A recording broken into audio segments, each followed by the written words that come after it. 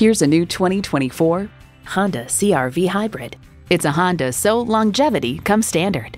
Features include continuously variable automatic transmission, front heated leather bucket seats, streaming audio, steering assist cruise control, dual zone climate control, inductive device charging, external memory control, express open and close sliding and tilting sunroof, doors and push button start proximity key, and i4 engine. Take it for a test drive today. Call, click, or stop in today. We're conveniently located at 330 Woodruff Road in Greenville, South Carolina.